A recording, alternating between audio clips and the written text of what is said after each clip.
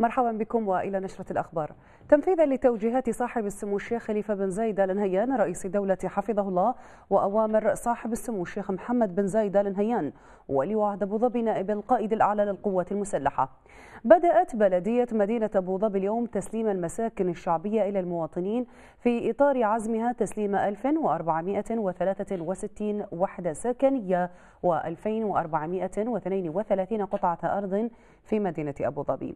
وعرب سعادة مصبح مبارك المرر المدير العام لبلدية مدينة أبو ظبي عن امتنانه وشكره لقيادتنا الحكيمة الحريصة على تقديم كل ما من شأنه توفير الحياة الكريمة للمواطنين والمواطنات وترسيخ قيم الحياة السعيدة والكريمة حيث قام بتسليم مفاتيح المساكن الجديدة إلى المواطنين بنفسه والإشراف التام على إجراءات التسليم. وأضاف أن هذا النهج الحكيم الذي تتبعه قيادتنا الحكيمة يؤكد ارتفاع مؤشر السعادة في وطننا وفي أسرتنا الإماراتية المتماسكة والمؤمنة بقيادتها الحكيمة السائرة على نهج المؤسس المغفور له بإذن الله الشيخ زايد بن سلطان آل نهيان. طيب الله ثرى والذي استنى هذه السنة الحسنة فأصبح أبناء دولة الإمارات أولوية قصوى في كافة المشاريع والخطط التنموية والتطويرية. وأوضحت البلدية أن نسبة التوزيع في اليوم الأول لاستقبال المواطنين والمواطنات بلغت أكثر من 60% مشيرة إلى أنها تستهدف تسليم جميع المساكن في وقت قياسي. وذلك مرتبط بمدى إقبال المواطنين وظروفهم الخاصة التي تسمح لهم بمراجعة البلدية لإتمام إجراءات استلام البيوت. بعث صاحب السمو الشيخ خليفة بن زايد آل نهيان رئيس الدولة حفظه الله برقية تهنئة إلى فخامة الرئيس محمد عبد الحميد رئيس جمهورية بنغلاديش الشعبية بمناسبة ذكرى استقلال بلاده. كما بعث صاحب السمو الشيخ محمد بن راشد آل مكتوم نائب رئيس الدولة رئيس مجلس الوزراء حاكم دبي رعاه الله. وصاحب السمو الشيخ محمد بن زايد آل نهيان ولواء عهد أبو ظبي نائب القائد الأعلى للقوات المسلحة برقيتي تهنئة مماثلتين إلى فخامة رئيس جمهورية بنغلاديش الشعبية. انطلقت يوم أمس بطولة كأس دبي العالمي للخيل على مضمار ند الشبه في دبي بحضور صاحب السمو الشيخ محمد بن راشد المكتوم نائب رئيس الدولة رئيس مجلس الوزراء حاكم دبي رعاه الله وصاحب السمو الشيخ سعود بن راشد المعلى. عضو المجلس الأعلى حاكم أم القوين وإلى جانبهما. عدد من الشيوخ وكبار المسؤولين وملاك الخيل من دولة الإمارات ومختلف دول العالم. الزميل أيمن مصبح كان هناك ووافانا بالتقرير التالي.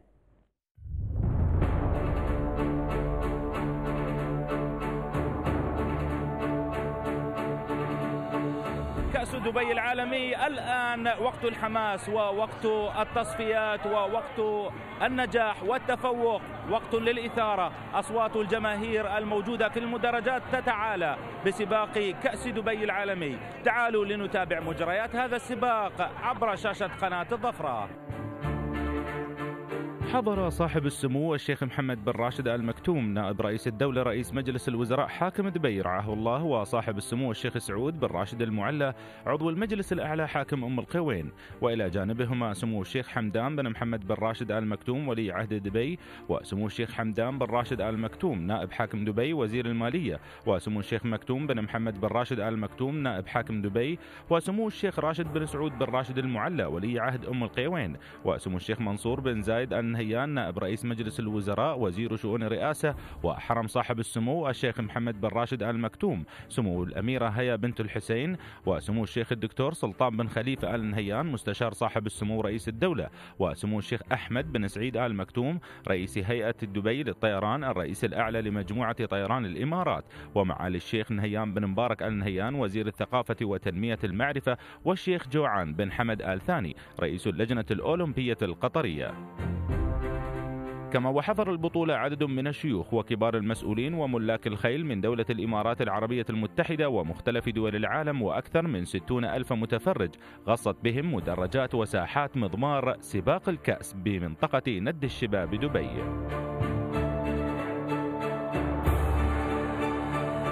أنا سعيد كثير أني اليوم مشارك آه، في آه، افتتاح كأس دبي العالمي وفي اليوم الرياضي المهم في تاريخ دولتنا الحبيبة. وكذلك أنا اليوم سعيد تقديم أغنية من كلمات ومن أشعار صاحب السمو الشيخ محمد بن راشد آل مكتوم بأسم العاديات. آه، دائما ما يشرفني ومن حسن حظي إني أنا أغني من من قصائد سيد صاحب السمو الشيخ محمد بن راشد وتقديمها لي آه، أني أغنيها هذا في حد ذاته شرف وأنا سعيد كثير أني أنا اليوم أشارك في هذا الحدث. وسعيد حقيقة بكل حدث آه، على مستوى دولة الإمارات أو على مستوى الخليج أو الوطن العربي. يسعدني ويشرفني أني أنا اليوم أكون موجود هنا.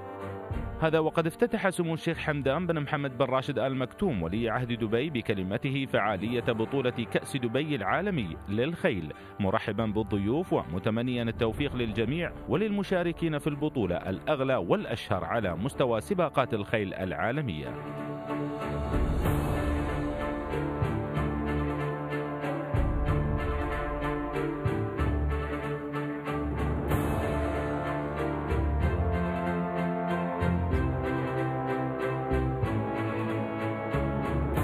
كما وتخلل بطولة كأس دبي العالمي للخيل في دورته الحادية والعشرين لحظات رائعة ومنها عزف السلام الوطني لدولة الإمارات العربية المتحدة إيدانا بافتتاح الحدث وكذلك عدد من اللوحات الفنية الرائعة التي امتزجت فيها مشاعر الفخر والسعادة والانتماء للوطن والفخر بالحدث الكبير الذي تستضيفه الإمارة والسعادة بالإنجاز العظيم الذي حققته دولة الإمارات حيث تجملت ساحات ميدان بالألعاب النارية المصاحبة للحدث مقدمة صورة بهية تنير فيها دروب الخيل ومضمار التحدي الذي يزين تاريخ الفروسية في دولة الإمارات.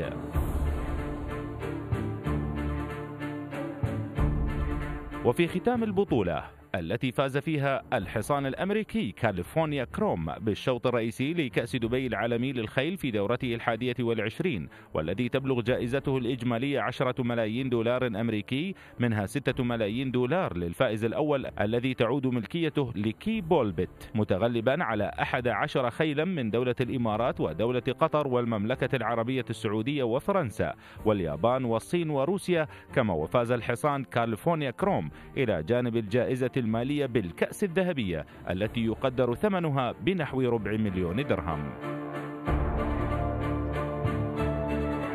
مشاهدي ومتابعي قناة الظفرة حياكم الله من جديد وتسع جولات حاسمة حسمها مضمار كأس دبي العالمي. هذا المضمار الذي شهد العديد من البطولات في إمارة دبي كأس عالمي وبطولة عالمية تتوجها إمارة دبي اليوم.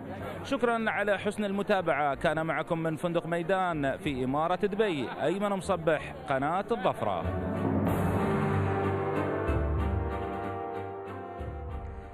حضر صاحب السمو الشيخ حمد بن محمد الشرقي عضو المجلس الأعلى حاكم الفجيرة وصاحب السمو الشيخ سعود بن صقر القاسمي. عضو المجلس الأعلى حاكم رأس الخيمة ظهر اليوم مأدوبة الغداء التي أقامها سعادة عبد الله محمد بن قضيب الزعابي في منزله بمنطقة الرفاعة في الإمارة على شرف سموهما.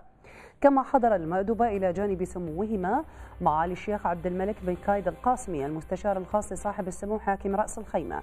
والشيخ خالد بن سعود بن صقر القاسمي والشيخ الدكتور راشد بن حمد الشرقي رئيس هيئة الفجيرة للثقافة والإعلام والشيخ مكتوم بن حمد بن محمد الشرقي والمهندس الشيخ سالم بن سلطان بن صقر القاسمي رئيس دائرة الطيران المدني برأس الخيمة والشيخ صقر بن عبد الله بن حميد القاسمي إلى جانب عدد من الوزراء والسفراء وأعيان ووجهاء البلاد ورجال الأعمال وكبار المسؤولين والمدعوين. حضر صاحب السمو الشيخ سعود بن صقر القاسمي عضو المجلس الأعلى حاكم رأس الخيمة حفل الزفاف الذي أقامه السيد سالم بن حروز علي الخنبول الشحي في الساحة أمام منزله بمنطقة وادي البيح في رأس الخيمة. بمناسبة زفاف نجله عبد الله إلى كريمة السيد سعيد راشد علوان الحبسي كما حضر الحفل معالي الشيخ نهيان بن مبارك آل نهيان وزير الثقافة وتنمية المعرفة والمهندس الشيخ سالم بن سلطان بن صقر القاسمي رئيس دائرة الطيران المدني والشيخ ماجد بن سلطان بن صقر القاسمي والشيخ مفتاح بن علي بن عبيد الخاطري إلى جانب عدد من أعيان البلاد والمسؤولين والشخصيات وأبناء القبائل وأجمع من المدعوين. وقدمت الفرق الحربية والرواح الفنونها التراثية الإماراتية وذلك ابتهاجا بهذه المناسبة السعيدة تحت رعاية وحضور صاحب السمو الشيخ سعود بن صقر القاسمي عضو المجلس الأعلى حاكم رأس الخيمة ينظم برنامج الشيخ صقر للتميز الحكومي حفل تكريم الفائزين بجائزة التميز الحكومي الدورة العاشرة 2015 وذلك يوم الأربعاء المقبل بمسرح جامعة رأس الخيمة للطب والعلوم الصحية. يحضر الحفل رؤساء ومدراء الجهات الحكومية والخاصة وموظفي حكومة رأس الخيمة بالإضافة إلى مدراء الجهات الاتحادية في الإمارة وأعيان البلاد.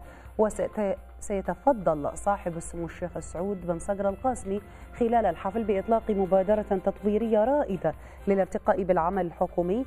تشمل فئة جائزة التميز الحكومي 2015 الرئيسة الجهة الحكومية المتميزة في التحسين المؤسسي والدائرة الحكومية المبدعة والمبادرة الخدمية المتميزة وأفضل خدمة حكومية عبر الهاتف المحمول والمشروع الحكومي المشترك المتميز وفئات الوحدة التنظيمية المتميزة وفئات التفوق الوظيفي وفئات تطبيقية. استقبل سمو الشيخ عمار بن حميد النعيمي ولواء عجمان اليوم في مكتبه في ديوان الحاكم سعادة إيمانويل كامارانا كيسا قنصلي عام كندا لدى الدولة الذي قدم للسلام على سموه. رحب سمو ولي العهد بالقنصل العام الكندي متمنيا له التوفيق في أداء مهام عمله. جرى خلال اللقاء استعراض علاقات التعاون وسبل توطيدها بين البلدين الصديقين وتبادل الأحاديث التي من شأنها أن تعزز تلك العلاقة بين الجانبين في العديد من المجالات وتطويرها لما فيه مصلحة الشعبين الصديقين. إضافة إلى بحث فرص الاستثمار بين دولة الإمارات وكندا. من جانبه أثنى القنصل الكندي على التعاون المشترك بين البلدين في المجالات كافة مشيدا بالتطور الحضاري الذي تشهده دولة الإمارات في مختلف الميادين. حضر اللقاء سعادة سالم سيف المطروشي نائب مدير الديوان وسعادة يوسف النعيمي مدير عام إدارة التشريفات والضيافة وعدد من كبار المسؤولين. استقبل سمو الشيخ حمدان بن زايد ال نهيان ممثل الحاكم في المنطقة الغربية رئيس هيئة البيئة أبو ظبي بقصر النخيل معالي محمد أحمد البواردي الفلاسي وزير الدولة لشؤون الدفاع العضو المنتدب لهيئة البيئة أبو ظبي بحضور سعادة رزان خليفة المبارك أمين عام الهيئة. وطلع سموه خلال اللقاء على آلية ومحاور تطبيق استراتيجية الغابات التي تم اعتمادها في عام 2014 وتهدف إلى رفع فعالية إدارة الغابات من خلال التركيز على عدة محاور أهمها الاستغلال الأمثل للمياه بجميع مصادرها. كما تم خلال اللقاء مناقشة تعزيز دور الغابات في حماية البنية التحتية وتنويع استخدامات الغابات مثل الأنشطة الترفيهية وتحويلها إلى غابات إنتاجية لتعزيز دورها في الأمن الغذائي والبحث العلمي. يذكر أن هيئة البيئة أبو ظبي تتولى إدارة 540 غابة تشكل ما نسبته 98% من غابات أو من الغابات في الإمارة. وتغطي هذه الغابات مساحة إجمالية قدرها 3.5% من المساحة الإجمالية للعاصمة أبو ظبي. كما واستقبل سمو الشيخ حمدان بن زايد آل نهيان ممثل الحاكم في منطقة الغربية في قصر النخيل في العاصمة أبو ظبي وفدا تربويا برئاسة معالي الدكتور علي راشد النعيمي مدير عام مجلس أبو ظبي للتعليم. رحب سموه بالوفد التربوي معربا عن شكره وتقديره لما يقدمونه من عطاءات جليلة في دفع المسيرة التعليمية في إمارة أبو ظبي وإعداد أو إعداد جيل على قدر عال من الوعي يتمتع بأفضل المهارات والمؤهلات العلمية. بالإضافة إلى دوره الفعال في تعزيز الهوية الوطنية والحفاظ على التقاليد والثقافة المحلية وتحفيزه على تطوير مهاراتهم المختلفة والمشاركة في مسيرة البناء والتنمية. وأكد سموه حرصه على تقديم كافة أوجه الدعم المستمر لأبنائنا الطلبة, الطلبة والعاملين في الميدان التربوي. من جانبهم عبروا مديرو ومديرات المدارس عن شكرهم وامتنانهم. للاهتمام الكبير الذي يوليه سمو الشيخ حمدان بن زايد آل نهيان في تطوير المنظومة التعليمية بالمنطقة الغربية ومتابعة سموه المستمرة الأمر الذي ينعكس بشكل إيجابي على أدائهم والتزامهم بالتطوير الذاتي وتنفيذ الأهداف التعليمية. استقبلت معالي الدكتور أمل عبد الله القبيسي رئيسة المجلس الوطني الاتحادي في مقر المجلس في العاصمة أبو ظبي اليوم معالي إركن أمير ألبك نائب رئيس اللجنه الدائمة للمجلس الوطني لنواب الشعب الصيني رئيس لجنة الصداقة الصينية العربية والوفد المرافق له.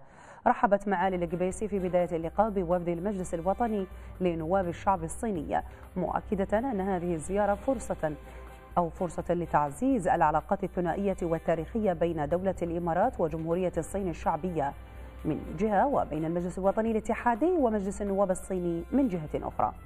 تم خلال اللقاء التطرق إلى تطور العلاقات بين دولة الإمارات وجمهورية الصين وسبل تعزيزها في المجالات كافة وخاصة في المجالات التجارية والصناعية والتكنولوجية والطاقة والتنمية المستدامة بما يعكس توجهات وتطلعات قيادتي وشعبي البلدين الصديقين. واتفق الطرفان على أن التعاون بين دولة الإمارات وجمهورية الصين الشعبية يؤكد على اتفاق البلدين على هدف على هدف ورؤية واحدة تلبي مصالح البلدين وتعزز من فرص التعاون بينهما وتطرقت أيضا معاليها إلى لنواب الشعب الصيني أو لنواب الشعب الصيني إلى سبل تعزيز العلاقات البرلمانية وأهمية تطويرها. التقى الفريق سمو الشيخ سيف بن زايد ال نهيان نائب رئيس مجلس الوزراء وزير الداخلية اليوم في مكتبه دومينيك مينورا سفير المملكة البلجيكية لدى الدولة تم خلال اللقاء بحث عدد من الموضوعات ذات الاهتمام المشترك وسبل تعزيز التعاون والتنسيق بين دولة الإمارات العربية المتحدة وبلجيكا في في مختلف المجالات الشرطية والأمنية. حضر اللقاء الفريق سيف عبد الله الشعفار وكيل وزارة الداخلية واللواء الدكتور ناصر الخريبان النعيمي الأمين العام لمكتب سمو نائب رئيس مجلس الوزراء وزير الداخلية. حضر مع الشيخ نهيان بن مبارك آل نهيان وزير الثقافة وتنمية المعرفة مساء أمس حفل الاستقبال الذي أقامه أحمد بن محمد السويدي بمناسبة زفاف نجله غانم إلى كريمة إبراهيم بن محمد السويدي كما حضر الحفل الذي أقيم بنادي ضباط القوات المسلحة في العاصمة أبو ظبي معالي اللواء محمد خلفان الرميثي قائد عام شرطة أبو ظبي واللواء الدكتور أحمد ناصر الريسي مفتش عام وزارة الداخلية وعدد من من الوزراء والسفراء وكبار الشخصيات والمسؤولين والضباط ووجهاء القبائل وجمع من المدعوين والمهنئين. تضمن الحفل مشاركة فرقة العيالة بعروض وفقرات متنوعة من التراث الشعبي. استقبل معالي الدكتور أنور بن محمد قرقاش وزير الدولة للشؤون الخارجية جاياكا مريشو كيكوتي رئيس جمهورية تنزانيا السابق المبعوث السامي للاتحاد الأفريقي إلى ليبيا. تناول اللقاء مستجدات التطورات السياسية في ليبيا وجهود الاتحاد الأفريقي في هذا السياق. تم خلال اللقاء استعراض الاتصالات التي تقوم بها دولة الإمارات لتعزيز العملية السياسية بما يحقق الأمن والاستقرار في ليبيا. بحضور معالي الدكتور ثاني بن أحمد الزيودي وزير التغير المناخي والبيئة والوفد المرافق له قامت قناة الظفرة بتسجيل الحلقة الخامسة من البرنامج العلمي الرائد نجوم الابتكار حيث تفاعل معالي الدكتور ثاني بن أحمد الزيودي مناقشا الفرق المنافسة أو المتنافسة من طلاب المدارس الثانوية الفنية ومعاهد التكنولوجيا التطبيقية على خشبة مسرح نجوم الابتكار أثناء عرض هذه المشاريع على لجنة تحكيم البرنامج مشيدا بإبداعات الشباب الإماراتي الوعد. فعلا آه، لاحظنا نخبة من الابتكارات آه، من طلبتنا الإماراتيين على مستوى الدولة. مشاريع آه، فعلا تبرز ريادة المعرفة والقراءة والابتكار في دولتنا الحبيبة. الطلبة فعلا منبع للفخر وللعزة في لتطوير الأفكار اللي فعلا تخدم مجتمعنا. لاحظت أربع مشاريع مشاريع فعلا لها تأثير كبير على المجتمع أكثر مما أنه لها المردود التجاري. المشاريع البيئية المردود لها المحافظة على الغذاء اللي بيكون لها تأثير كبير على الأمن الغذائي. في الدولة مشاريع آه، تحلية آه، المياه واستقطاب المياه عن طريق الألواح الشمسية فعلا لها تأثير كبير بخفض التكاليف على المزارعين والتكاليف الموجودة في المناطق البعيدة. وننوه للمشاهدين أن برنامج نجوم الابتكار هو برنامج علمي يركز على اختراعات وابتكارات طلاب وطالبات الوطن. يبث على شاشة قناة الظفرة كل يوم ثلاثاء الساعة الخامسة. مساء. في الشأن اليمني أكد الرئيس اليمني عبد الرب منصور هادي أن اليمن أصبح أكثر أمانا اليوم بعد عام من عاصفة الحزم والعزم بعد أن تحولت قوى التمرد والانقلاب إلى عصابات تتآكل كل يوم وتتهالك مع كل معركة. جاء ذلك في مقال نشره الرئيس هادي على صفحته الخاصة يوم أمس السبت على موقع التواصل الاجتماعي الفيسبوك. وقال الرئيس اليمني اليوم يتعزز دور الجيش الوطني ويتماسك المجتمع مقاوما للانقلاب ورافضا للتمرد والفوضى.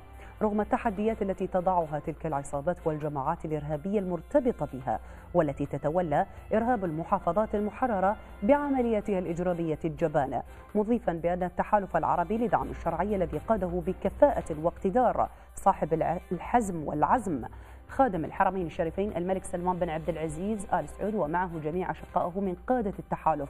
قد أظهر مقدارا عاليا من القوة والاقتدار المقرون بالالتزام الأخلاقي والإنساني في مواجهة ذلك الخطر الذي لا يستهدف اليمن فقط ولكن المنطقة جمعاء. ولفت أيضا إلى أن النزعة المريضة لقادة الميليشيا الانقلابية قد وضعت الشعب اليمني والوطن كله تحت لهيب النيران والموت والخراب من قبل عصابات امتهنت الإجرام وتآمرت على الشعب الكريم الذي منحها الفضل والعرفان والغفران. وفي السياق ذاته أقيمت في العاصمة المؤقتة عدن أمس عدد من الفعاليات والمهرجانات بمناسبة الذكرى الأولى لعاصفة الحزم التي انطلقت قبل عام وأسهمت في تحرير عدن والمحافظات المجاورة من الميليشيات الانقلابية الحوثية والمخلوع صالح في وقت زينت الألعاب النارية سماء محافظة مأرب وأعلنت أو علت الزغاريد والأناشيد أرجاء المحافظة احتفاء بالذكرى. واحتضنت قاعة البتراء في مدينة خرم مكسر في عدن مهرجانا فنيا وثقافيا بمناسبة الذكرى الأولى لعاصفة الحزم ألقيت فيه عدد من الكلمات التي عبرت عن شكر وتقدير أبناء عدن لقوات التحالف وعلى رأسها المملكة العربية السعودية ودولة الإمارات التي كان لها الدور البارز في إنقاذ عدن والمحافظات الجنوبية من بطش الانقلابيين.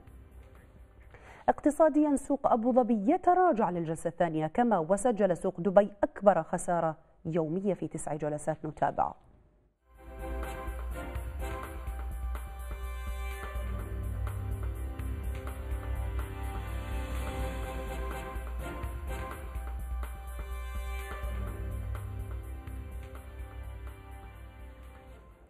رياضيا تحت رعاية سمو الشيخ حمدان بن زايد آل نهيان ممثل الحاكم في المنطقة الغربية تنطلق الدورة السادسة والعشرين من رالي أبو ظبي الصحراوي في الفترة من الثاني إلى السابع أبريل المقبل حيث تشكل الجولة الثانية من بطولة كأس العالم للراليات الطويلة لسيارات فيا والجولة الأولى من بطولة كأس العالم للراليات الطويلة للدراجات النارية فيه يستعد السائقان الإماراتي الشيخ خالد القاسمي والقطري ناصر العطية للمشاركة والتتويج بلقب رالي أبو ظبي الصحراوي الذي ينطلق الأسبوع القادم في صحراء المنطقة الغربية في العاصمة أبو ظبي حيث يصنفان في المركزين الثاني والثالث على الترتيب في الدورة السادسة والعشرين للرالي. يذكر أن رالي أبو ظبي الصحراوي ينطلق بجولة استعراضية خاصة من حلبة الفرسان في العاصمة يوم السبت الثاني إبريل المقبل قبل التوجه للصحراء القريبة من الربع الخالي لخوض خمسة أيام من المراحل الصحراوية حيث يختتم الرالي فعاليته أو يختتم الرالي فعاليته في حلبة مرسياس في السابع من أبريل. إليكم درجات الحرارة العظمى والصغرى لليوم.